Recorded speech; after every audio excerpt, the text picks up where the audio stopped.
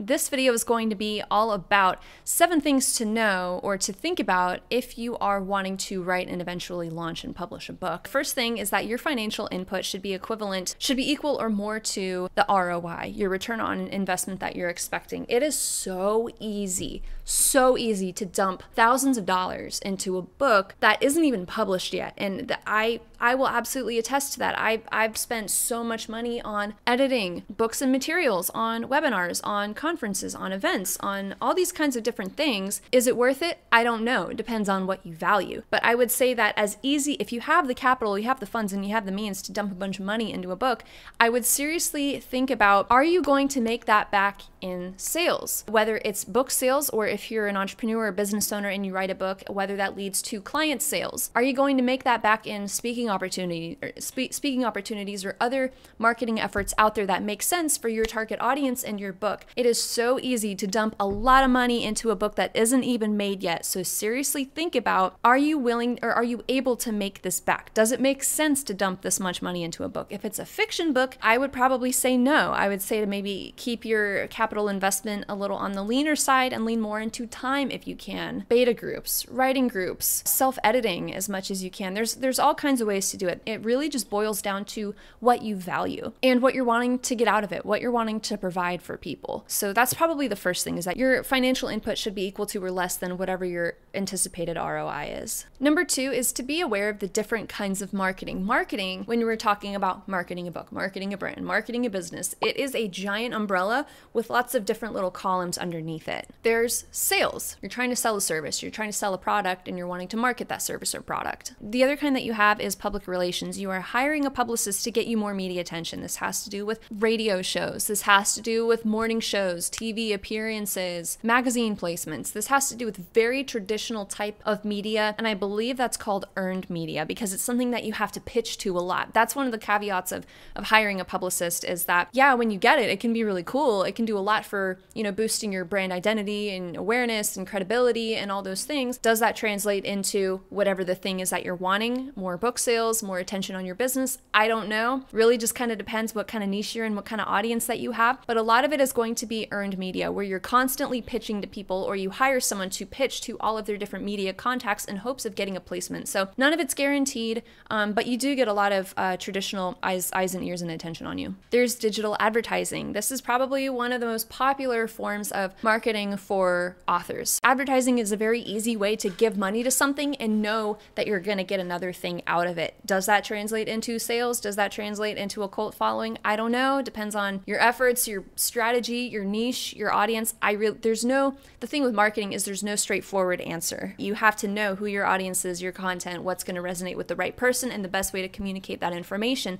But advertising is really attractive because you for sure are getting placement somewhere. It could be an Amazon ad, it could be a YouTube ad, it could be a Google ad, it could be text, it could be video, it could be photo. It just kind of depends. You also have digital marketing, and this has a lot to do with social media. This has a lot to do with search engine optimization. This has a lot to do with utilizing digital channels to increase awareness, spread word of mouth, get more eyes and ears on you. And there's also branding and brand identity, and that's also a big part of marketing. And in my mind, I think of brand identity as a controlled perception. How do you want people to think about you? What do you want people to associate with you? How do you want people to interpret you? Where do you want people to look or see or think about when they see your brand name or you or your face or your colors or a certain word, right? When you think of vulnerability. You might think of Brene Brown. When you think of sparking joy, you might think of that one woman who wrote that book whose name escapes me at this exact moment who wrote about the power of being clean and tidy. So those are a lot of the different facets and areas of marketing. There's tons of other little bits and pieces that can bump off of that, but those are just some of the major ones. So when you say that you want marketing support, know what kind of marketing support you want or the kind that you suspect that you need. If you're wanting specific results, if you're wanting specific support with something, it might not hurt to do a little bit of research, see what's out there and get a feel for the other kinds of, you know, avenues and efforts within the marketing umbrella that makes sense for you. And speaking of marketing and branding, the third point is you want to make sure that you have a clear book to brand pipeline. You could be fiction, you could be nonfiction. I'm a nonfiction girly. I think there's a lot of cool stuff that you can do with nonfiction books. So that's kind of where my heart is. But with any book that you have, you're going to get an influx of attention on a new book. That's going to come back to you. That's going to come back to the author. They're going to read read your book, think, wow, this is really valuable. They're to flip over to your bio section in the book, be like, oh, where can I find more information on this person? They're to find you. What do you want them to see? Is there something else you want them to buy? Is there a service you want them to invest in? Is there a community you want them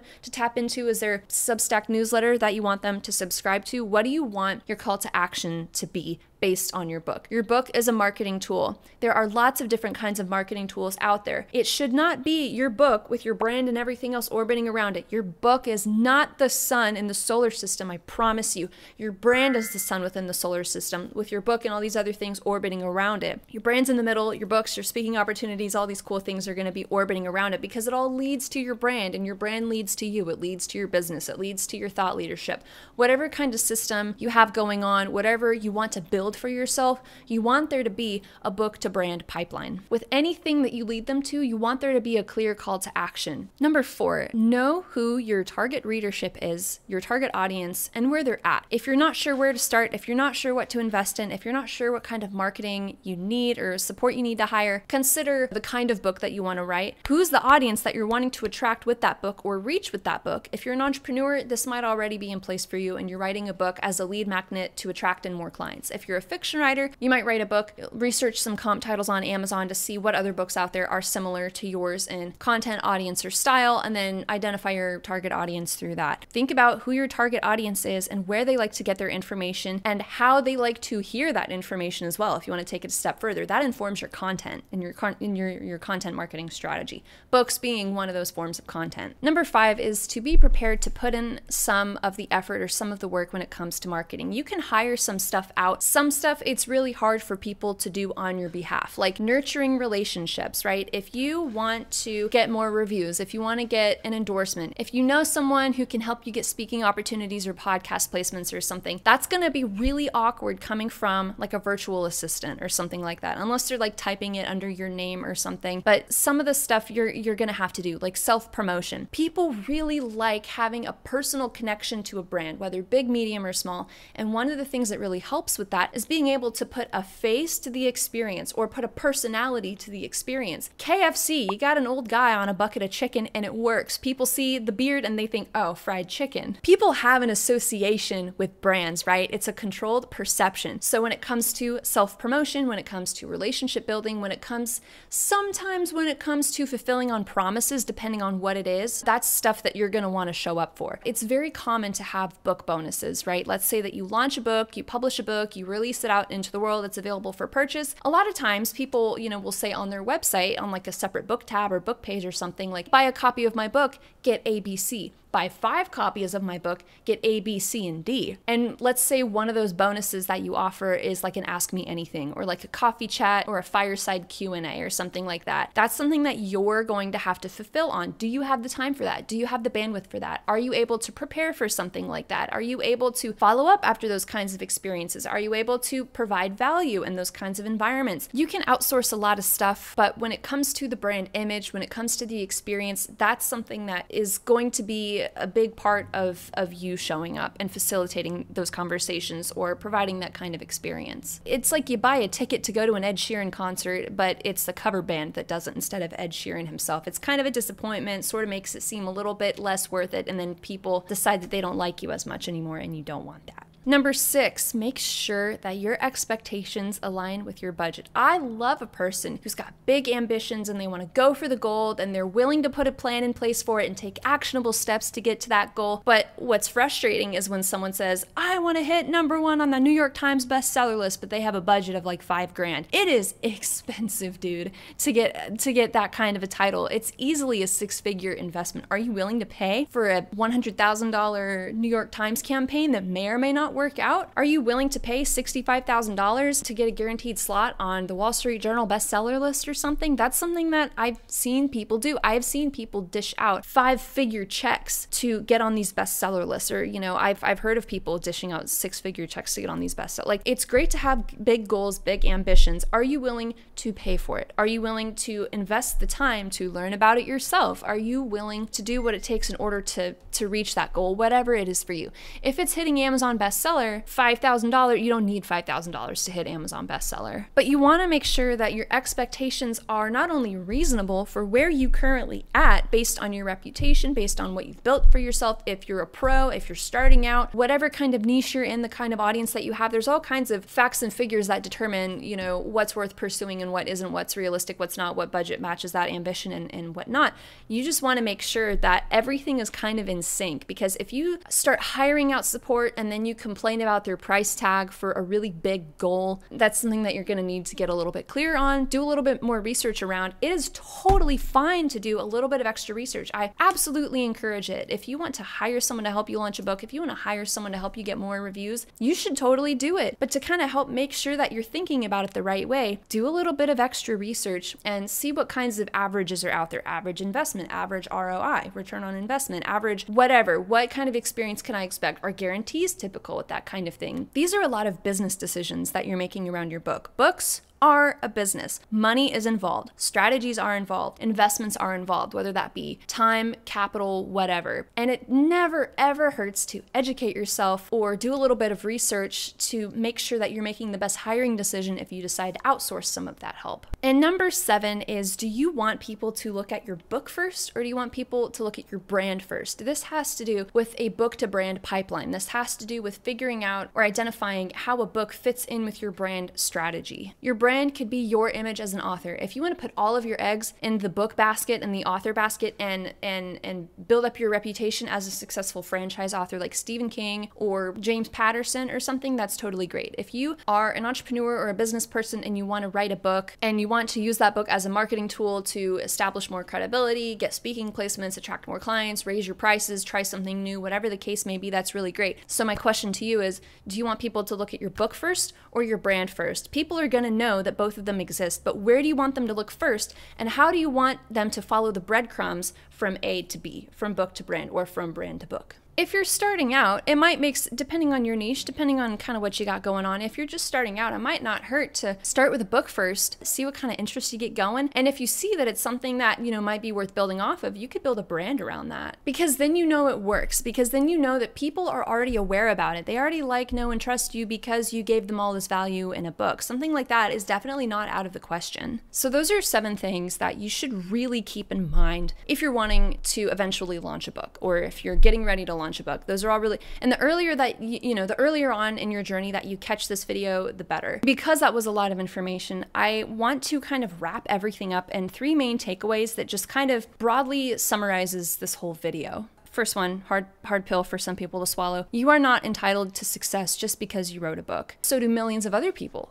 Thousands, tens of thousands, hundreds of thousands, millions of books get published every year. Not every single one of them is famous. Not every single one of them is well known or a millionaire. And I'm going to break a huge myth for you, which is that you're not going to get rich off book sales unless you are Brene Brown, your name is Colleen Hoover. Those are the exceptions. A book is a great ego boost. It's a great credibility boost. You can do a lot with a book. You, it's a it's a big label maker. You can say you're an author, a best-selling author, whatever. But because you wrote it and you beat the odds, because you wrote it, doesn't necessarily mean that you're automatically granted the full red carpet experience. You want to make sure that you are setting goals and objectives for yourself and defining what your version of success looks like so that you can look back on everything and feel like it was worth it. Number two, you are investing in a short pipeline that leads to a bigger one. This is the book to brand pipeline. A book is only new for one year in the eyes of the industry. It's called a frontlist title. When a book is 12 months or older, it shifts from, from a frontlist to a backlist title. And backlist title just means that it's just not new anymore. That's all that means. So, in the eyes of the industry, if a book is new for a year and you are an entrepreneur or you're a brand or you have a business or something, new business lasts for eight and a half years on average. So, you got book for one year or you got business for eight and a half years. I would sink more of my eggs into the brand basket because, like I said, you're not going to make money off of book sales. PR and media attention might not help with those book sales. It really depends because the industry as a whole is extremely subjective. But you have your business, and business always done well. We live in a very capitalistic society here in the Western Hemisphere in the United States. So, you know, chances of your business making more money is a lot greater than maybe your book making money. So, So why not have that book funnel into your business? Have a pipeline, right? If people read it and they like it, where do you want it to go? If you're a fiction author, maybe you make money by doing book coaching. If you're a fiction author, maybe you make money doing workshops or lectures. Maybe you have a paid community. I don't know. It's going to look different for everyone. But you want to make sure that you're not losing sight of the bigger picture because you have this shiny new book in front of you. And then number three, I kind of already said number three, but your your your brand is going to last a lot longer than your book. That's all I have. Um, I really hope that this was enlightening. I hope it challenged some of your beliefs. I hope it opened you up to some new perspectives. I hope it maybe validated some of the things that you were feeling, or you know, answered some of the questions that you have. So if this helped, please consider liking and subscribing. Um, by doing that, you are recommending the video to other people who might also benefit from it. If you want other people to know about it, that's a really great way to support the channel. So that's all I have. I'll see you the next video. Take care until then. Also, oh my God, um, please sign up for my Patreon. I just recently started one. I, I, mentioned that in the last video, but just in case you didn't catch it, I started a Patreon. It's only one tier and it's a dollar a month. And I'm going to be doing, I'm not going to be making more content, but I am going to be creating a more interactive community. I want you to feel like you can pick my brain if you want, ask questions if you want. There's going to be live streams. I want to bring in guests and people to talk on subjects that I'm less of an expert in. I want there to be ask me anythings. I want there to be Q&As. There's going to be behind the scenes stuff there's going to be strategies and tips and resources and all, and all, and all kinds of things that I share because I really want to help you out. Authorpreneurship is my jam. So if that sounds like something that you'd kind of like to poke your head into, see what's going on, definitely consider joining. Otherwise, that's all I have for this video. Take care until then, and I'll see you next time. Bye.